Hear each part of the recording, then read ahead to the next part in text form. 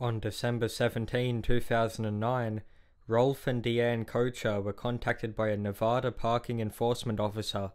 They were informed that their son Steven's car was parked in a cul-de-sac of a retirement community in Henderson, Nevada, located southeast of Las Vegas. The white 2003 Chevrolet Cavalier had been at the location since the 13th and was regarded as abandoned. The Koechers found this extremely odd, as their son lived roughly 140 miles away in St. George, Utah. He had no known friends in the area, and as a devout Mormon, Steven didn't drink or gamble, making Vegas an unlikely destination. Unable to contact their son, Rolf and Deanne notified police who began a missing persons investigation, but after 13 years, the disappearance of Steven Koecher remains unsolved. Steven was born on November 1, 1979 in Amarillo, Texas. He graduated from the University of Utah in 2002 with a degree in communications and worked as a journalist at the Davis County Clipper, where his father was an editor. He was heavily involved in the Mormon Church and had performed missionary work in Brazil, where he learned to speak Portuguese. In 2007, he began working for the Salt Lake Tribune.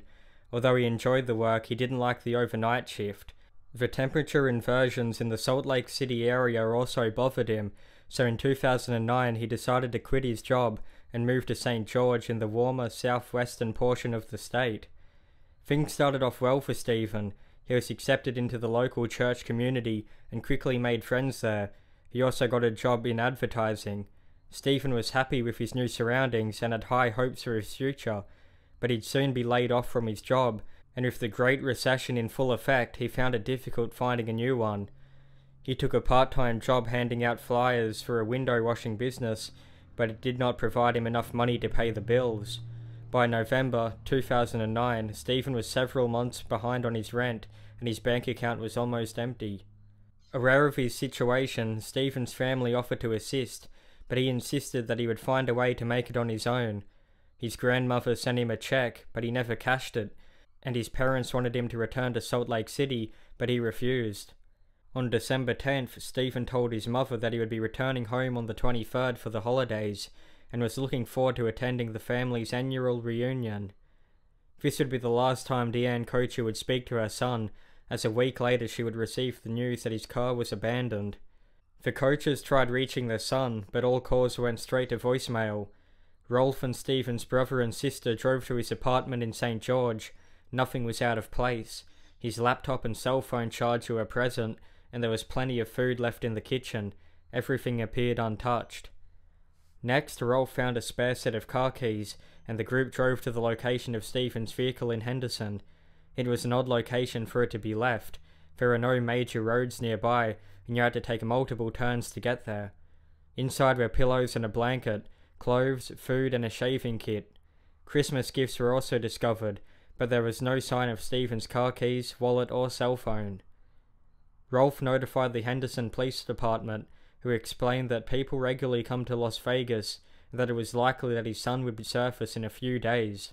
Without the assistance of authorities, the Koechers began searching for Steven. They checked the local jails, morgues, and hospitals with no luck. They asked the residents of the retirement community if they had seen Steven in the area, but no one had but one man offered to show them his security footage, and finally they had a lead. At 11:54 a.m. on December 13th, Steven's car drove past the cameras, and minutes later, a man wearing a white shirt and slacks walked the opposite direction. The Koechers were certain this man was Steven. He was carrying what looked like a file folder or portfolio. He crossed the street onto Evening Lights Road and continued down the sidewalk until he faded from view. This at least confirmed that Steven was in the area and wasn't a victim of a carjacking. He seemed like he knew where he was going, and his family theorized that he may have been heading to a job interview in the area. Unfortunately, this would be the last confirmed sighting of Steven Koecher, as he did not reappear on the surveillance footage. In an attempt to find out where Steven went next, his family inspected his phone and financial records, but they only found more questions than answers as they discovered that Steven had done a lot of travelling in the days prior to his disappearance. In the early morning hours of the 10th, Steven drove 300 miles to Salt Lake City where he purchased fuel with a debit card. He then travelled 125 miles to West Wendover, Nevada, where he stopped to refuel before heading another 100 miles to Ruby Valley, Nevada, where he stopped to visit an ex girlfriend. She wasn't home at the time, but Steven still had lunch with her parents. They weren't expecting him, and they said he was talking about going to Sacramento, but was unsure he could continue due to the bad weather. Ultimately, Steven decided to return home. He stopped for fuel again in Springville, Utah, and then had dinner at a taco time in Nephi, Utah, before finally arriving back to St. George. This was the same day he spoke to his mother about returning home for the holidays, but he didn't tell her about his travels. On the 12th, Steven's phone pinged a cell tower near Overton, Nevada. It is unknown what he was doing here, but in the evening he refueled his vehicle in Mesquite, Nevada, and three hours later he was back in St. George, where he purchased the Christmas presents at a Kmart. A neighbor stated that he saw Steven return to his apartment at around 10 p.m. that night, but he only remained for half an hour before departing again at 10:30 p.m. The next day, the president of the LDS singles ward contacted Steven at around 9 a.m. to see if he could leave the 11 a.m. service as he was in Las Vegas and was unsure if he would make it back in time. Steven revealed that he was also in the Las Vegas area but would return home if needed. The president told him not to worry. Another church member called at 11 a.m. with a similar request for the 1 p.m. service, but Steven told him that he wouldn't be attending. A hour later, Steven walked past the surveillance camera, never to be seen or heard from again. However, his phone remained active. At 5 pm, it pinged a tower at the intersection of Arroyo Grande Boulevard and American Pacific Drive, more than 10 miles from where he had left his car. Two hours later, it pinged a tower near Henderson's Whitney Ranch subdivision, two miles from the previous ping. The next morning, the phone was used to check Steven's voicemail, pinging another two miles to the north. The phone remained in this area for two days, indicating that either its battery had died or it was switched off. There has been no activity on the phone since, and it is unknown if it was still in Steven's possession at the time. On December 30th, police conducted a large search of the desert area that surrounded Henderson using ATVs, helicopters, and search dogs.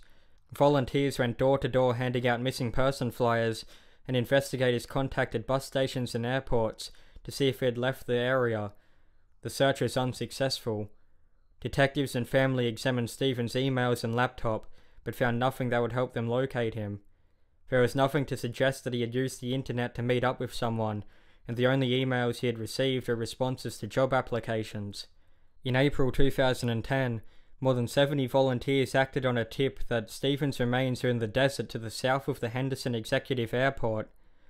They found some bone fragments, however, these would be confirmed to be animal bones.